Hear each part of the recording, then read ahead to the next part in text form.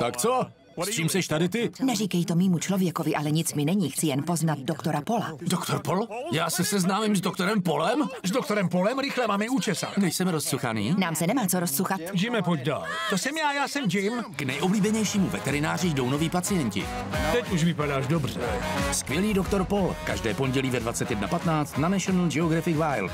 Hele, to je doktor Pol? Kde? Jede k nám, ty ho nevidíš? Já nevidím nic.